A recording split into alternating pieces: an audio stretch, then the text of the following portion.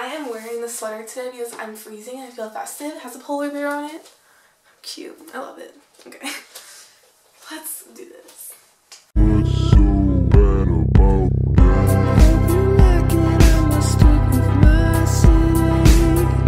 Hey guys, it's Steph. Welcome back to my main channel. So this week I want to do a really funny video about the time that my friends and I were on X Factor and my sister. So this was back in about, I think it was 7th or 8th grade for me, so like a few years ago. I'm not good at math, I'm sorry.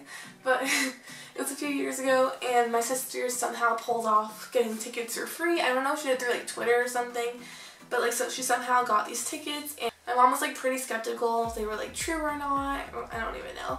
But my sister pulled it off. She printed these tickets from online. They were legit.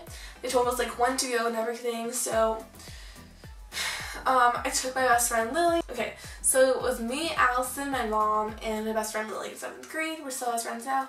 But we all went to X Factor and we were just mind blown the whole time. So let's get into it. So we got to um, X Factor it's about like an hour or two from my house. I'm pretty sure just like an hour, not even. But um, we got there and it was so crowded and this is like the peak time for X Factor. Like everyone was watching X Factor, everyone loved it and all the talents from X Factor were being like super successful and they're doing great. So we went to this area on X Factor and like, it was this huge line and the cameras were like coming up and down like the aisles of the um like the lines. I am not describe that. Like the lines and they're like some come say hi so like Lily and I were like, hi. like, we were wearing these cute dresses. I'll insert a picture here what we were wearing. And, like, we were super close to, like, the stage area. So, like, that's a picture. It was crazy because, like, these tickets are free. Like, I don't know if it's for all on-camera audiences that the tickets are free. But after we kind of did, like, the aisle waving, we went into our seats. And we literally came so close to, like, Simon Cowell and, like, Paula Abdul. It was, I don't even know who else. It was, like, Simon Cowell, Paula Abdul, I think it was, um... I don't know. I don't remember which season it was, but it was really funny. And like we just saw all of them, and we went and saw. We went and sat down in our seats, and we were like pretty much close to the stage, like I said. And it was really cool because like the lighting was like all like the show and like the backdrop and everything. Like it was such a surreal experience for us. Like we all thought it was like so amazing. So we're all sitting in our seats and they're just kind of getting everyone to sit down.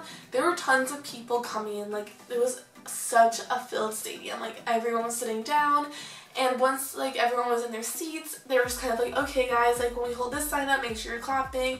When we like hold this sign up, you're sitting, you're like laughing, all this stuff. So Allison and Lily are taking this very seriously. My mom was just like mind blown that my 13 year old sister pulled all of this off because like we had no idea this was even a thing. And she got us like such a great row. She has free tickets and we are like on the X Factor. It was so crazy and um so we're sitting down and we start the show and the host comes out and he just like, he's not like the actual host like the live shows. I'm not sure if it was like Nick Cannon or not, but a host came out and started talking to us about like what we're gonna do, how we're gonna react to like certain things going on in the show. And then I think Nick did actually come out after and he was like, alright guys, like we're gonna start the show, blah blah blah. So we're like all so hyped, like Lily, Allison, and I are like, yeah, mom just like taking pictures like with, like for Facebook. She's like, girls, like you're doing great. like, it was so funny. So after um, we were all like getting ready, the acts started coming out, and the crazy thing about the acts is like some of them were actually like so good, than some other ones were like horrible and like we didn't see half of them on TV but then like we saw one act from like our audition on TV and we were freaking out so this first act comes on, it's this girl, like, I don't know, it was something with ghosts, like, I think she, like, ghost hunted or something, and she was, like, talking about it, and then she was, like, talking about, like, the spirits and stuff, and, like, it, I don't know, and she started, like, singing about it, and it was, like, very weird, because, like, we were so young at the time, I mean, not, like, that young, but it was just like we didn't really like the audition but like everyone could like boo and stuff and they're like boo and I like felt bad doing it. So we're all like boo and like they made us like do certain things and stuff. And all the judges were literally so close to where we are sitting and we're like waving to them and they're like hi and like one of them looked directly in the camera to me. I think it was Paula Abdul. I was like this is so cool like so we're talking to each other and then like the next act comes out he's like this really good singer and everything and he's like singing his heart out and everyone's like clapping really loudly like the people will give you cue cards to tell you how they want you to react so it's like kind of rigged like honestly. Because I always thought that everyone was kind of like reacted based on how they felt and then like did the close-ups of the people in the audience but like no. It was all kind of rigged in that way but I also thought it was really cool because like everyone would react at the same time so that was another act. And then there were a few other ones, like they were pretty minor. They only lasted a few seconds. They didn't really like them that much. And some of them weren't televised. Like they wouldn't record the ones they didn't think were interesting.